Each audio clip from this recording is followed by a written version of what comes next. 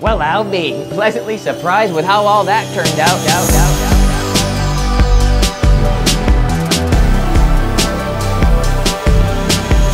Hey, what's going on, you tubulous? EXO coming at you staying busy on the build. Got lots in store for today too. Hope you guys had a nice New Year's over the break. Another 365 down the drain, man. Dang, 2023, I say this is the year. We all kick some serious butt, go for those goals, resolutions, the whole kit and caboodle. Me personally, I'd like to maybe gain some weight, handle stress a little bit better. And what about you guys? Anything that you're shooting for? In our last build video, we attached the subwoofer baffle to the steel frame, carefully marked, drilled, and countersunk all 50 holes for hardware, resized the bolts to recess into the wood, then finally glued and screwed everything tight. If you were one of the people left scratching your head last time wondering why on earth didn't this doofus just use the original carriage bolts from the top, well, it would have looked all chunky underneath, hear me out. Instead of a nice round button head barely poking out, I'd be stuck with a chunk of threads, nuts, lock washers, and regular washers all exposed. Definitely didn't want that. This way kept the chunkiness hidden away low profile. Plus I'm less likely to slice my head open now. Been there, done that. Oh! But I did end up squirting a dollop of thread locker on all the bolts. Can't be too safe even with lock washers, right? Thanks for the reminder, guys. Now, before we get too busy working on the next steps, I think it's time for another mid-build weigh-in. I've been keeping track meticulously down to the ounce of every section, category, and area. So by my calculations, since our last weigh-in at 7,480 pounds, we've added the last floor squares, the final panels for the roof sides and bottom, tapered wedges for the wheel wells, quad baffle with steel frame, screws and hardware, wood glue and PL, and can't forget more expanding foam. That brings us to an estimated 490 pounds of added material since last time. So we should be right around the 7,970 mark. Of course, that's just a guess, but it should be a pretty good one. Let's go ahead and hit the road down to the nearest scale and see what the damage really is.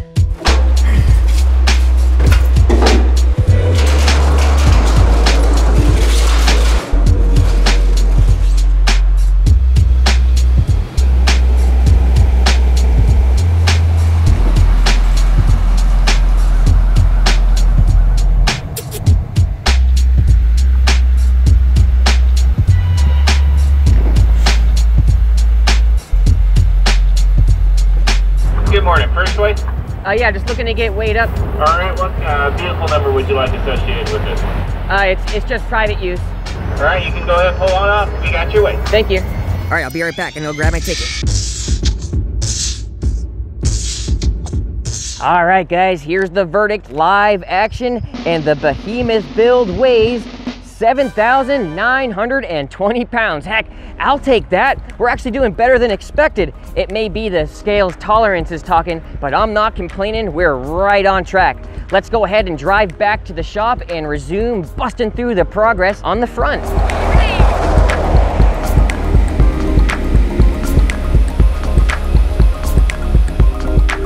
Let's begin right where we left off. After attaching the baffle to the cross supports, the only spots left over are the small seams up front where the square tubes meet the angle iron. Those need a welding. Each piece is already cut at five and a half degrees, so they both join up pretty decent with each other. You can also see how recessing the angle iron all those steps ago prevented the steel and screw heads from getting in the way now. Pretty happy about that. The front surface is nice and flat, even with a straight edge going across the seams, and all the tiny cracks and countersinks will be filled up solid once the front panel gets glued into place. So let's finish those welds movie magic style.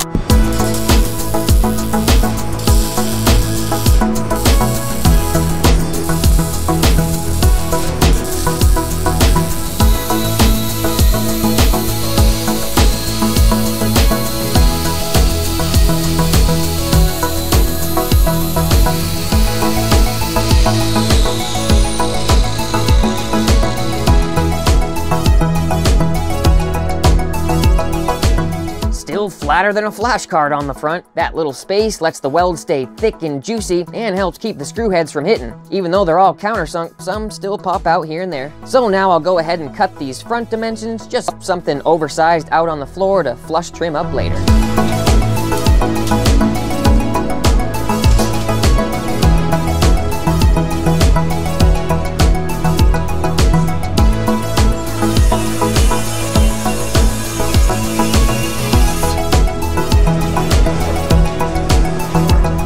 Got the front piece all cut to size, but before we install it on the cage, we gotta know where all this square tubing lays out. So I'm gonna mark those and go right down the line. That way we know where to even screw into on this piece. Everything will be visible and the screws will go in nice and quickly.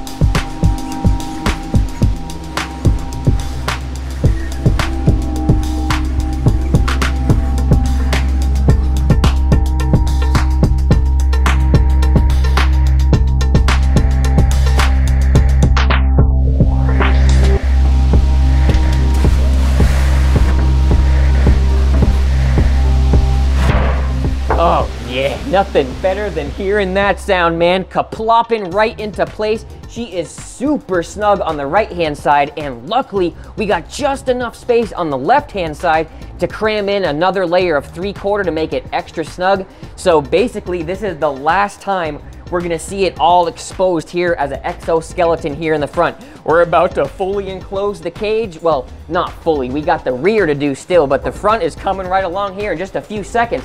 So I'm getting super excited. We'll go ahead and do the usual with our PL along all the steel. That way we can get a nice good seal. And on the angle iron, I'm gonna do a real hefty layer because remember we recessed that a couple of videos ago. That way we could have all these screws and hefty welds without interfering with the flatness of our uh, plane. So that's what we're gonna do next. Put it right up in there, squish it all in, and go to town with our Tex reamers here. The good old famous 1 and 7 16ths have been doing the job here basically with all of the cage. So we'll follow suit, get her mounted, and man, she's coming right along.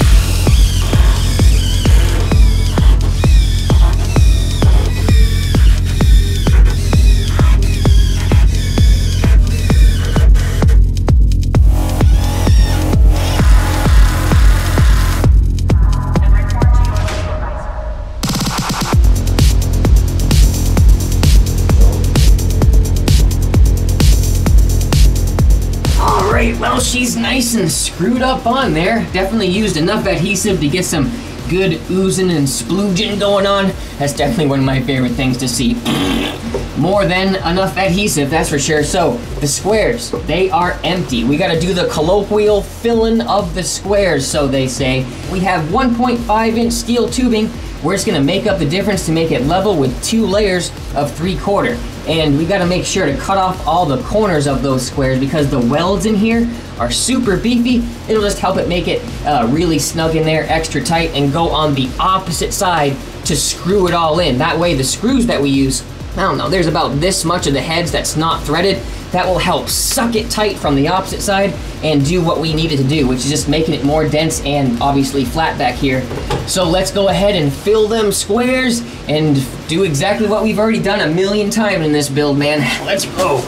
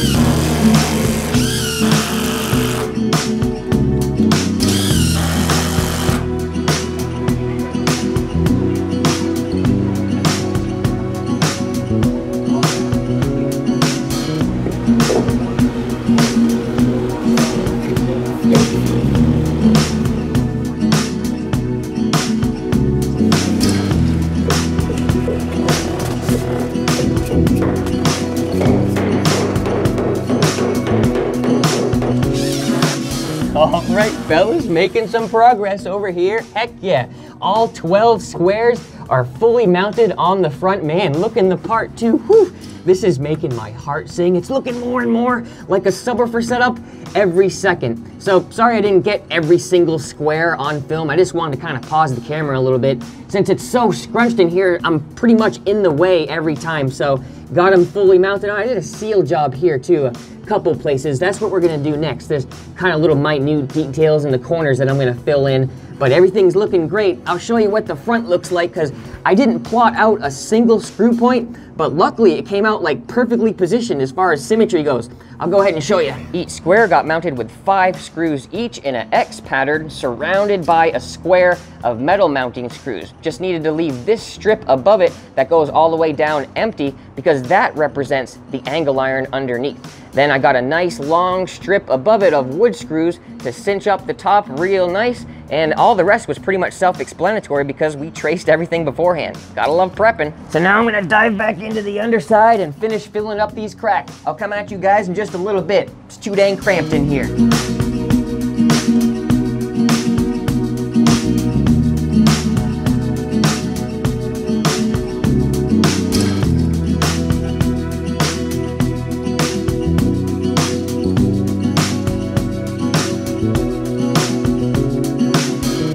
Complain about that. Front of the box is all smoothed over with some heavy duty construction adhesive. Man, I am absolutely loving this picture. Oh, I can't even explain how I'm feeling right now, but I'm gonna push through one of the next biggest parts of the build, which is the box bracing or baffle bracing. We already ran through the whole layout strength on video, so check that out. We gotta do the ones in the center, all 12 of them. But I ran into a little bit of a snafu here because of these little pre-made mounting flanges. I had every intention on using these because they're, you know, really convenient.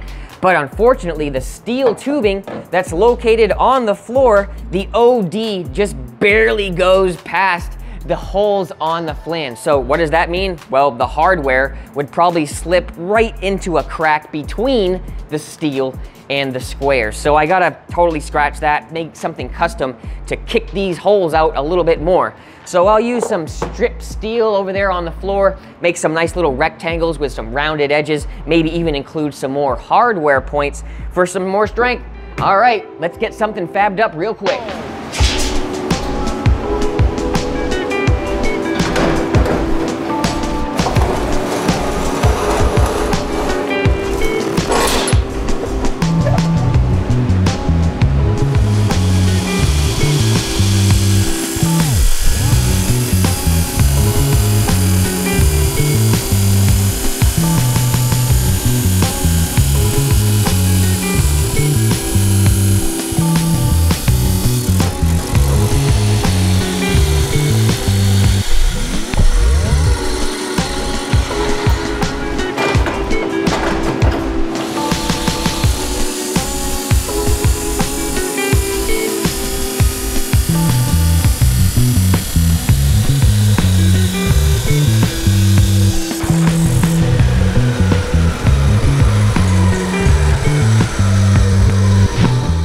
I'll take a quick second to clean the edges and round off all the sharp corners for a nice smooth finish. Got the fancy new benchtop grinder ready to go.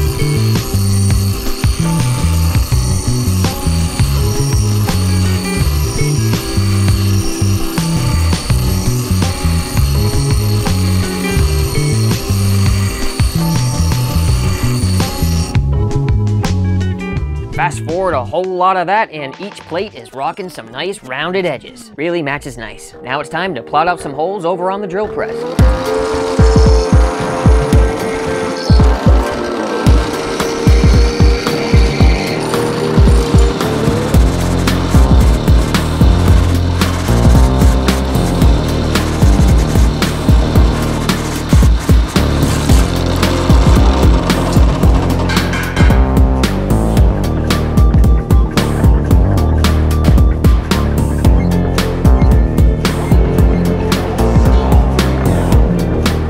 Looking good. Got all 12 brackets fabbed up at a 3 16 steel. Feels so satisfying to hold them in your hand too. It's like a big pile of pogs. You guys remember playing with those back in the day? Holy throwback. So the center three screws will be mounted into the steel. So we got special hardware for that. And the outside corners, all four of those will be beefy wood screws. Now, you may be asking yourself, well, what the heck, what does the center hole do in there if you're gonna be welding tubing right over it?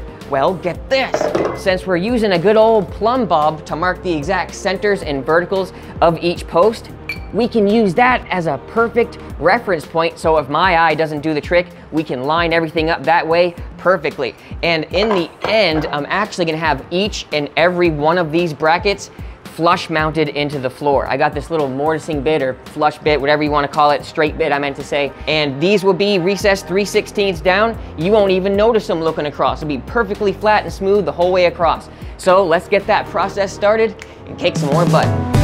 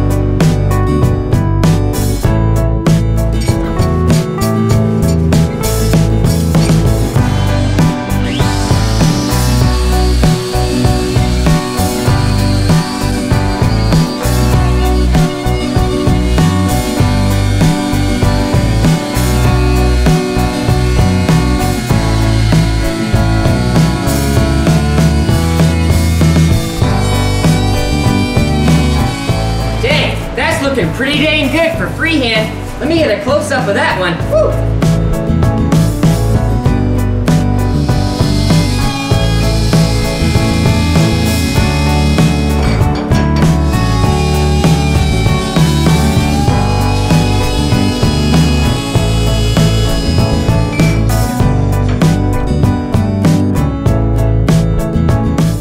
Well, I'll be pleasantly surprised with how all that turned out. I was expecting at least a little bit of yanking and pulling from the router, but it went through so smoothly. It's probably the freshness of the bit talking. The radius matched up perfectly with the round over that we applied on the benchtop grinder, so that's definitely ace.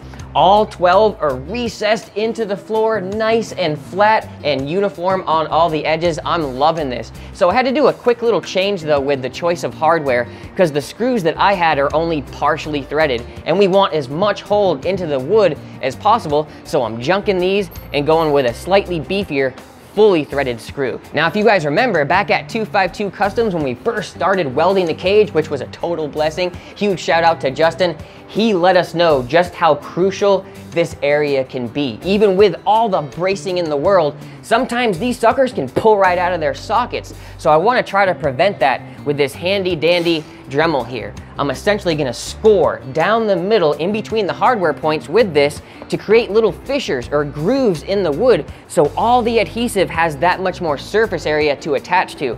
So instead of two flat on flat surfaces bonding, there'll be little roots or little arms extending into the wood helping it hold that much better. I, I hope that makes sense. I mean, I, it makes sense in my mind. So let's try to apply that little bit of science here and see how it works.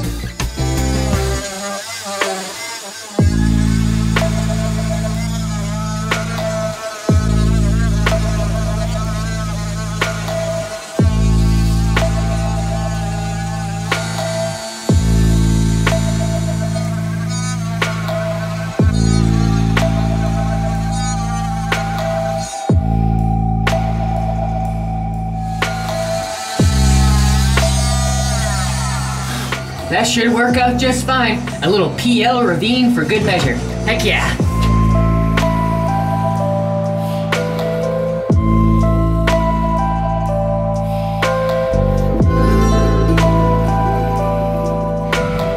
All right, guys, let's waste no time and get these suckers mounted.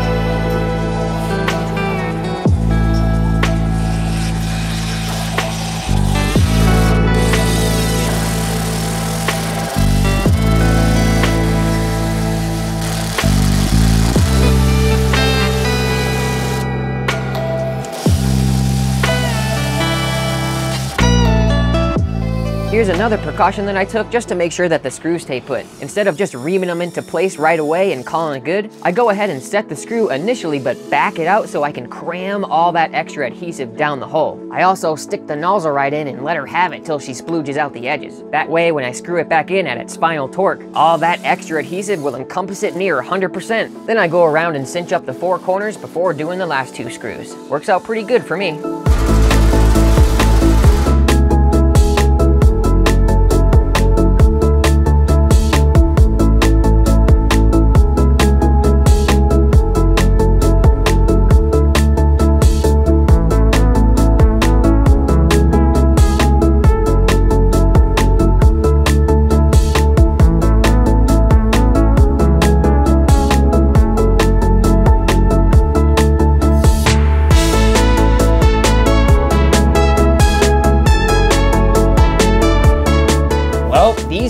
Anywhere, anytime soon, that's for dang sure. Rock freaking solid, fellas. Little different approach though, I gotta admit. Ordinarily, these braces would be put together outside on a bench or something before you bring it in, but here's why I didn't do that. Number one, because of the flush mount brackets. With a pre-mounted brace, sure, the whole thing can slide right in, but right at the last second, it would fall into the recessed holes, making it 3 16ths short every single time. Number two, I don't trust the pipe to stay straight without a tack on both ends. With my luck, I'd get the bases all welded up outside, then have one randomly trailing off to Denver when I get it in here.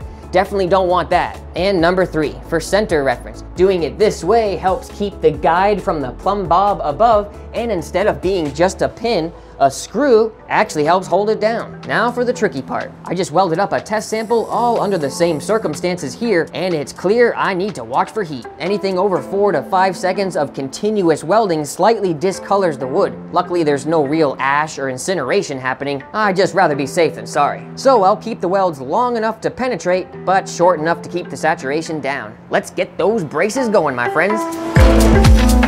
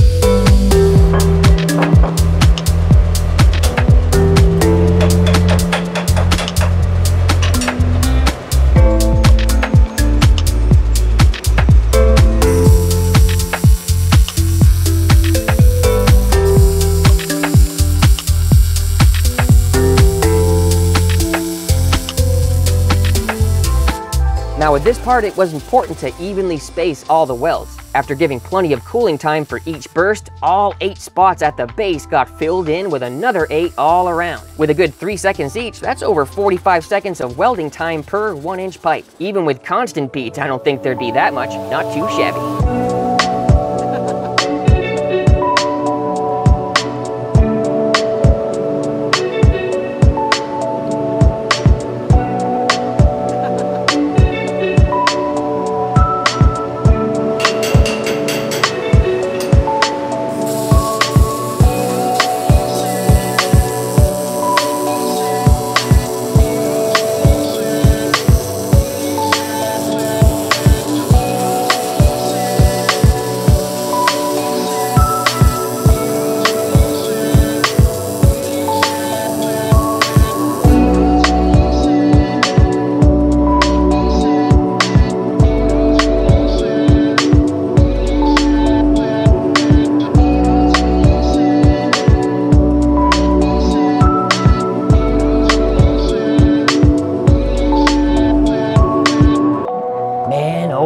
This is the sight I've been waiting for. Holy smokes. All 12 vertical braces are in there, welded, flush on the floor, man. The whole kit and caboodle. I'm super thrilled with how this video came out from start to finish. Everything went through without a hitch. So if you enjoyed watching, definitely slap some love with a good old thumbs up. Building it takes long enough, but freaking filming it, getting the right angles, then going and re-watching and then editing these episodes. The whole rigmarole makes you go kind of insane, but it's definitely worth it in the end to have you guys' feedback and uh, you know interaction along the way. I mean, look at this. This doesn't happen every day, so thanks for joining the ride. And now that I got you here, I just want to say a quick something to all of those who have chosen to comment on my videos with encouraging words. This goes out to you.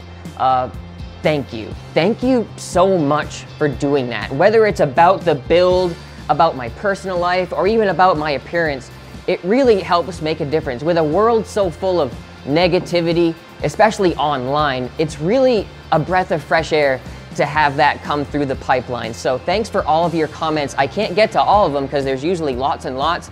Um, that would be impossible, really. But I just wanted to talk to you now, here, one on one, looking at you, saying thank you. Uh, I read them and it, and it makes a difference. In our next video, we'll make even more progress by building our rear port and then capping it off with a nice rear wall. So by the time you see it next, we will have a fully enclosed Bandpass subwoofer box. Oh man, this is getting all too real now.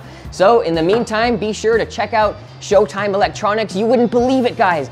The EXO coupon code has become the most used code on the entire site, and that is thanks to you guys. So your support means so much. Every little bit goes right back into making more high quality videos, and of course, you can score just about every brand under the sun down there. So it's a win-win for everybody. We also just landed Sundown, so go ahead and check that out. Everything from the entry level up to the top dog stuff is definitely up for grabs. So until the next video, this is EXO signing out. Feeling great. I hope you enjoyed it. I will talk to you in the next one.